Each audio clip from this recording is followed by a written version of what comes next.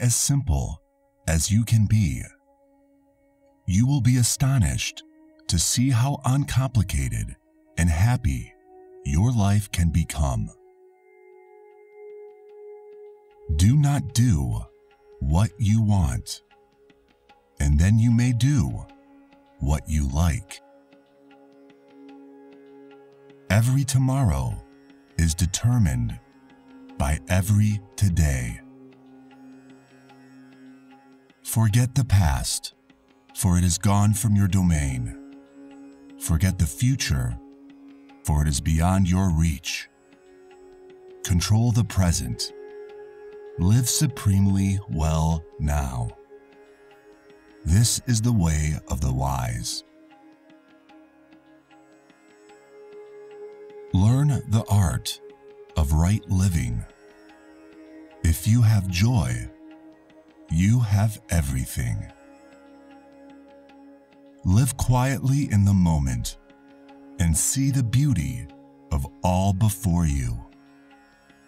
The future will take care of itself. Read a little, meditate more, think of God all the time. You must not let your life run in the ordinary way. Do something that nobody else has done. Something that will dazzle the world. Show that God's creative principle works in you.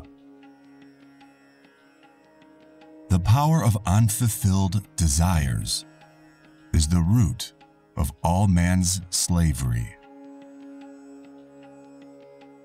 The secret of health for both mind and body is not to mourn for the past, worry about the future, or anticipate troubles, but to live in the present moment wisely and earnestly. Before embarking on important undertakings, sit quietly. Calm your sense and thoughts and meditate deeply. You will then be guided by the great creative power of spirit. Having lots of money while not having inner peace is like dying of thirst while bathing in the ocean. You have come to earth to entertain and to be entertained. The season of failure is the best time for sowing the seeds of success. Kindness is the light that dissolves all walls between souls, families, and nations. There is a magnet in your heart that will attract true friends that magnet is unselfishness. Thinking of others first. When you learn to live for others, they will live for you. Be afraid of nothing, hating none, giving love to all, feeling the love of God, seeing His presence in everyone, and having but one desire for his constant presence in the temple of your consciousness. That is the way to live in this world. Brotherhood is an ideal better understood by example than precept. Making others happy through kindness of speech and sincerity of right advice is a sign of true greatness. To hurt another soul by sarcastic words, looks, or suggestions is despicable. Many people excuse their own faults, but judge other persons harshly. We should reverse this attitude by excusing others' shortcomings and by harshly examining our own. Attachment is blinding. it lends an imaginary halo of attractiveness to the object of desire. God is simple. Everything else is complex. Do not seek absolute values in the relative world of nature.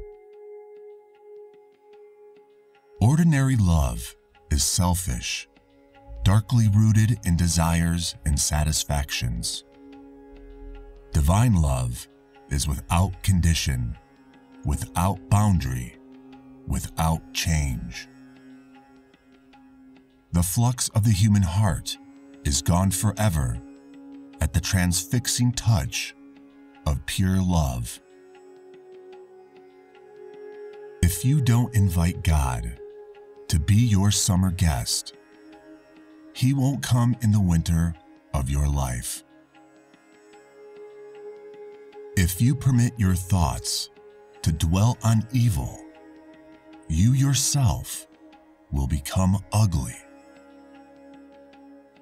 So long as we believe in our heart of hearts that our capacity is limited and we grow anxious and unhappy, we are lacking in faith. One who truly trusts in God has no right to be anxious about anything. I am the cosmic ocean of sound and the little wave of the body vibration in it. Stillness is the altar of spirit. In waking, eating, working, dreaming, sleeping, serving, meditating, chanting, divinely loving, my soul constantly hums, unheard by any. God, God, God. Persistence guarantees that results are inevitable. Seeds of past karma cannot germinate if they are roasted in the fires of divine wisdom. Since you alone are responsible for your thoughts, only you can change them. Retire to the center of your being, which is calmness. The wave is the same as the ocean, though it is not the whole ocean. So each wave of creation is a part of eternal ocean of spirit. The ocean can exist without the waves, but the waves cannot exist without the ocean. To work with God's happiness, bubbling in the soul, is to carry a portable paradise within you wherever you go. Your spine is your body's battery. Keep it charged. Yoga is, as I can readily believe, the perfect and appropriate method of fusing body and mind together so that they form a unity which is scarcely to be questioned.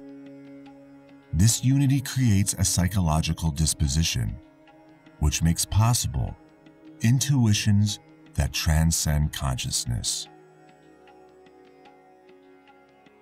The human mind is a spark of the almighty consciousness of God. I could show you that whatever your powerful mind believes very intensely would instantly come to pass. The kingdom of God is just behind the darkness of closed eyes. And the first gate that opens to it is your peace. The soul must stretch over the cosmogonic abysses, while the body performs its daily duties. The body melts into the universe. The universe melts into the soundless voice. The sound melts into the all shining light. And the light enters the bosom of infinite joy.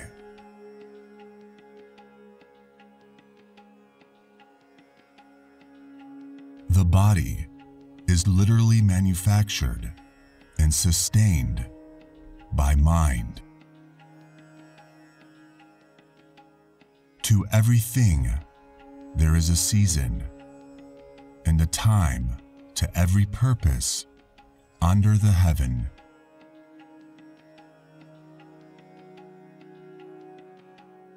You do not have to struggle to reach God, but you do have to struggle to tear away the self created veil that hides Him from you.